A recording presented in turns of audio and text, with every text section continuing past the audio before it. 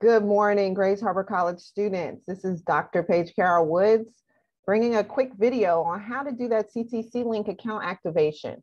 All right, many of you are first hearing about this right now, or some may have heard about it from your advisor or people around the campus or your faculty members. But CTC link is our new, is going to be our new student technology system. And right now I'm gonna walk you through some steps on how to get activated. So what is CTC Link? CTC Link, I'm sorry, new student technology system. It's user friendly. It will allow you to manage your college experience from mobile, desktop, or laptop. Some things you'll be able to do, view and update your student information and manage personal contact info, register for classes, add and drop, pay tuition and fees and handle financial aid processes, view your grades, track academic goals, and apply for graduation, and contact your instructor or advisor. This is going to allow us to serve you better as a student. You may ask what is different from your MyGHC account? Well, this what CTC Link holds is that everything will be in one place for the staff, for the students, for faculty, meaning we'll be able to serve through this one system and not have multiple systems. And it's gonna be better for you as a student altogether. So how do we get activated?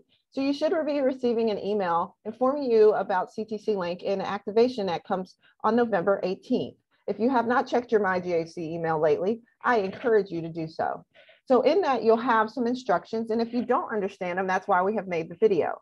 So there's a how-to quick guides that can be found at this link here, CTC Link Training for Students, Grays Harbor College. So this is actual hyperlink, but if you go to the GHC website, you search in the bar CTC Link, you choose the option CTC Link Training for Students, and voila, you are there.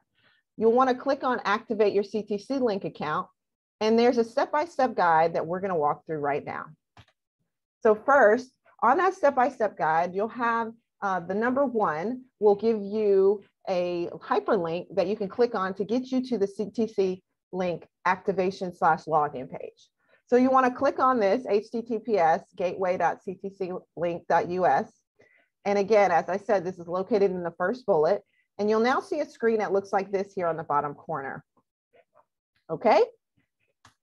So next, we're going to click activate your account. See that big red bold circle? Not a perfect circle, but gets the, you get the idea. Click on activate your account.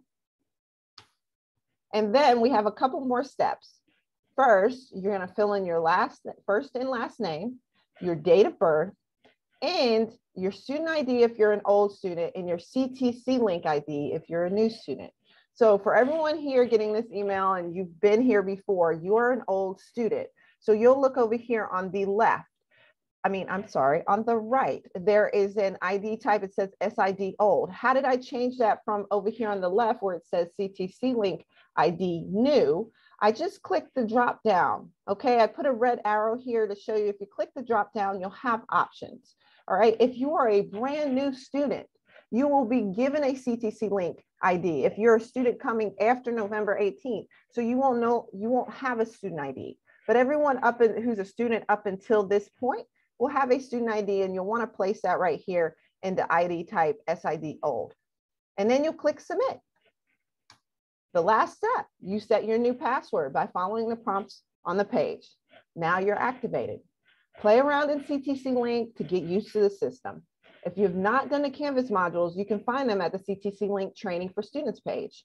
They are very valuable in um, assisting you through this process and learning the different tiles in the system and how they all connect and where you can click. But sometimes the best thing is just to get in there and click around and see what you learn. And if you have any questions, do not hesitate to reach out to your advisor, whether they are in the advising center, TRIO, or faculty. We are all here to serve you. Let's dig in. There will be one other video on how to get registered for classes in the future. Thank you.